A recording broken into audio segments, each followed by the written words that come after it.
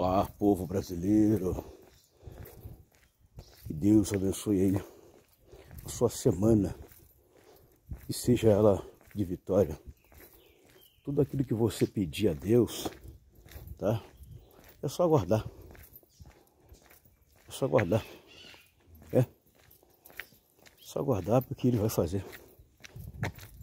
Isso. Aguarde.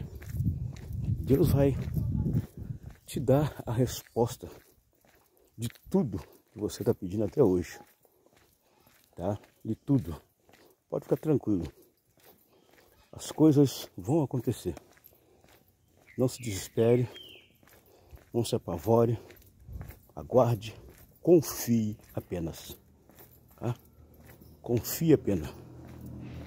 Que o nosso Deus ele vai fazer. Amém? Só você confiar e ele vai fazer. Bem, graça e paz.